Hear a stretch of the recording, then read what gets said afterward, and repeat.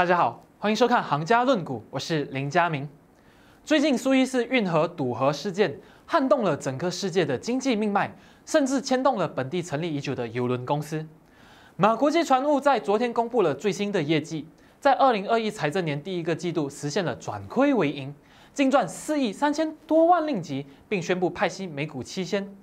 可那个投行研究表示，这一次的核心净利表现还算符合他们和市场的预期，分别占全年预测百分之二十一和二十四。此外，行家透露，虽然近期运河堵河事件让运费稍微提高，但整体的邮轮总运费还是蛮低迷的。尽管如此，行家还是乐观的希望今年下半年的船运运费会有所改善，因为石油国组织和盟友 OPEC Plus 在全球的石油产量将会增加，这有助于提高油轮的需求。因此，行家维持超越大市评级和八令级时先的目标价